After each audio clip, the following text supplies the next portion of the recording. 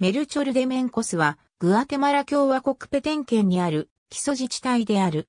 グアテマラ大統領、ミゲル・イディゴラス・フエンテス将軍の統治時代、1962年4月26日に、フローレスから分離して創設された。ペテン県の北東の角に位置し、北はメキシコのカンペチェ州、東はベリーズとの国境に接している。西はフローレス、南はドローレスと境を接している。面積は2098平方キロメートル、人口は16,505人。内人口の85%がラディーノ、13%がマヤ人、残り2%が黒人である。主にスペイン語を話し、4分の1の人々は英語を話すことができる。宗教は大部分がカトリックを信じ、プロテスタントやユダヤ教、モルモン教の信徒もいる。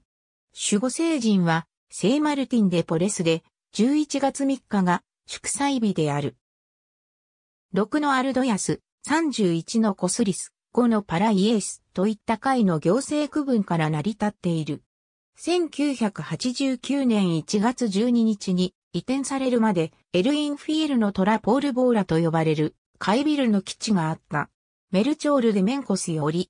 ただし、ペテン、メルチョールでメンコスによると、823平方キロメートルとされる。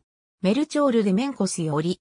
ただし、2002年独自戦争ナシオナルでパブレシアン、Y6 でアビタース4では18,872人である。クルトゥラ ENL ムーニチピオで、メルチョールでメンコス、ペテン草の根、人間の安全保障無償資金協力約束費別、平成17年度。ありがとうございます。